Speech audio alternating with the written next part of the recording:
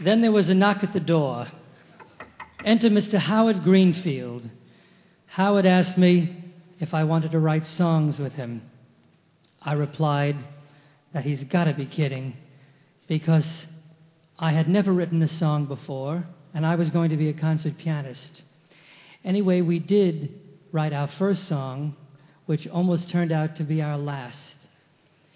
It wasn't very good. As a matter of fact, it stunk. It was called My Life's Devotion. Let me sing some for you. My life's devotion is loving you only.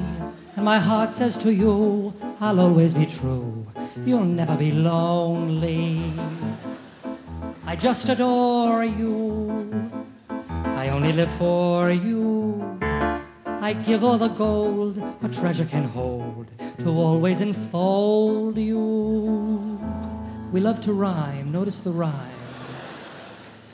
My life is madness, it's sadness, it burns with desire. I'm yearning, just burning, my soul is on fire. Dear, I'm the slave, and you're just the sire of love.